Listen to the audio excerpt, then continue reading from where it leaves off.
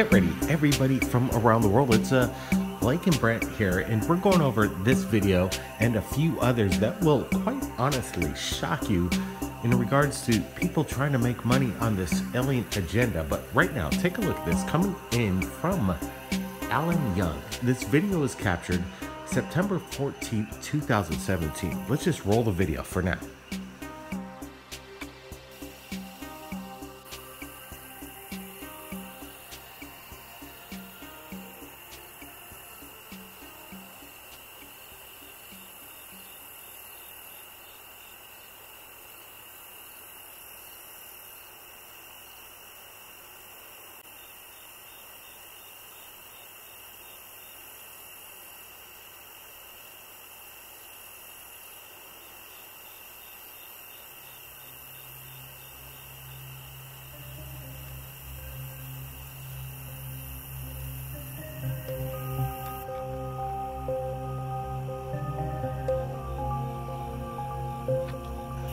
All right, so now we're going to repeat the video and basically what did Alan Young capture? He said he was walking out taking photos of the sunset and he zoomed in on this plane and caught this bright light. So he began to video and zoom in, but I'll put the link in the description below so you can take a look at Reed Young's original videos that he has taken. What is it? I want to get your opinions because in regards to chemtrails, and UFO sightings, they're basically hand in hand. This is not uh, unordinary. This is actually quite ordinary in regards to the UFO phenomenon and chemtrails. Brent Cousins is here with me, and I'm wondering what he's thinking about. And stay tuned, there's going to be something that's going to blow you away. But what's your thoughts on this? Yeah, first I thought this was a star actually in the sky during the low sunset setting, and stars pop out at that time. But then we notice that this thing is moving and it is next to that plane. I wonder how far up above it. I wondered if it's lined up with this airliner, this uh, commercial airliner, or is this um, below thousands of feet? Uh, I, I want to make sure on that. That's uh, something we need to find out. I believe this is uh, another anomaly, the orbs that we're seeing from around the world, and this is more confirmation of of uh, they're here, guys, and they're showing themselves. Yeah, isn't it really weird? Chemtrails, UFOs. The link is definite, and the link means something. Obviously, we don't know what is in these chemtrails, if there's even a chemical within it. But these are magnets in regards to these bright lights, these orbs. Are they uh, possibly organic, uh, biological beings up there harnessing uh, just the particles from these chemtrails or whatever it is? I don't know. It's just kind of strange. I got to get your thoughts, people. But now this is kind of getting weird. Now, take a look at this. This was submitted to us, and it's coming in from eBay. And apparently somebody has just uh, put this up on eBay. Uh, an alien fetus cloned at Area 51, real, not handmade. It's a, it's not a prop. He's stating, and he's asking 5,000 bucks, or starting bid at 2,500 dollars. And uh, wow, this is, is, is this real? This guy has a background and we're looking at it, and his background says he's a paranormal researcher and ufologist. He obtained this piece a few years ago for someone who have been a relative of a man who worked at Area 51, the S4 facility at Papoose in the dry lake near Groom Lake, Nevada.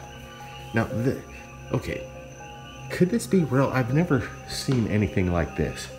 That's why we're sharing it to you. But this guy is stating that this is a dead alien clone fetus that was cloned in a lab by biophysicists. All right.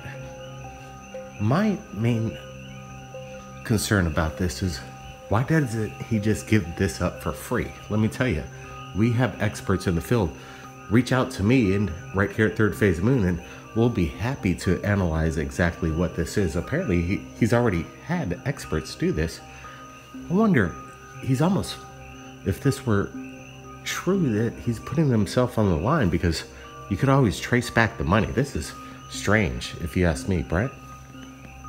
Yeah, Blake, is this snake oil medicine that we're uh, being delivered and fed into reality of what people might want to believe? I'm not sure.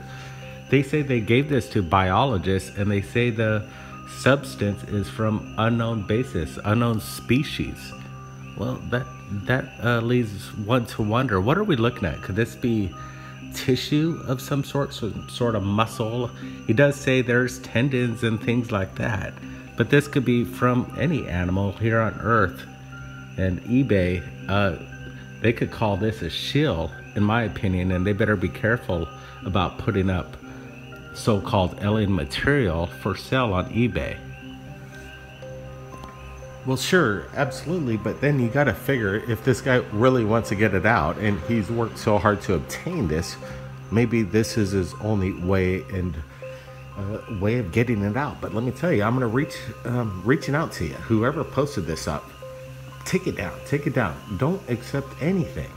You got to get this out to the world for, for no price because this, if it were real, is priceless. You can't ask for money if you're dealing with some kind of alien tissue that is uh, legitimate from uh, Area 51.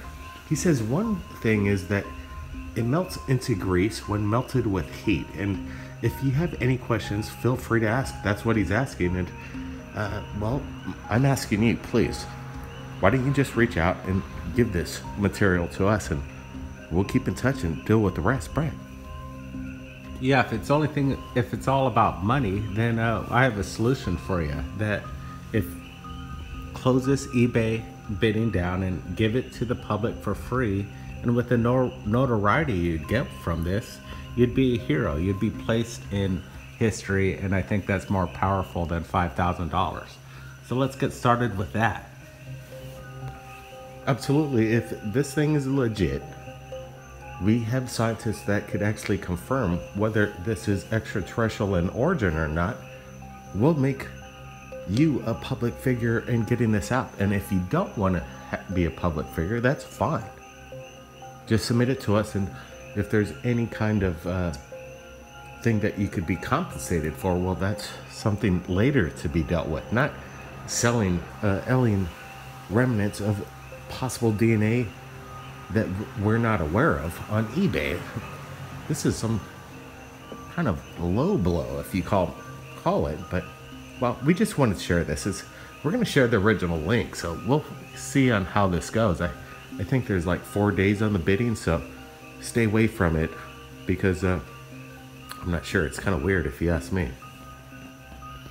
Yeah, Blake, you never know. Somebody might just pick up on this, and if they do, um, it. Share it with the world, and uh, let's get this out. Contact Third Phase of Moon.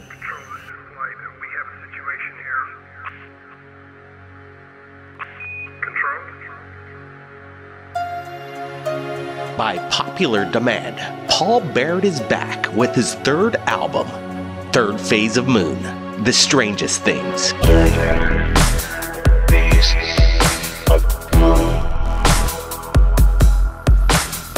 12 brand new tracks heard by millions on your favorite channel, Third Phase of Moon.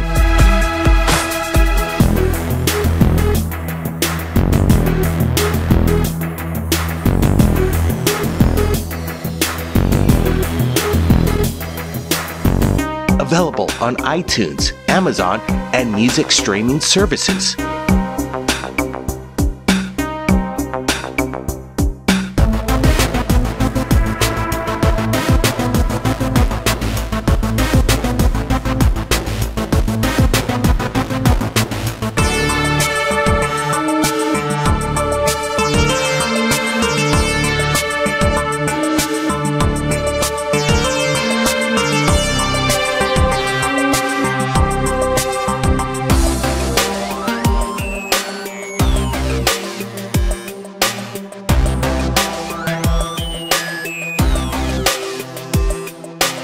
Paul Barrett's Third Phase of Moon, The Strangest Things.